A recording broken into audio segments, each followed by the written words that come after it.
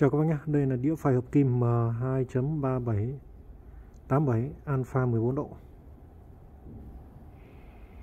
Đường kính trong là 40 nhé, đường kính ngoài là 9 91.2.3 ờ, thì nó có. Bắt đầu cần thì vui lòng nhé em nhé. Hàng mới tinh, không có hộp. Mới tinh luôn này Đó. Cần ký luôn nhé. Sing.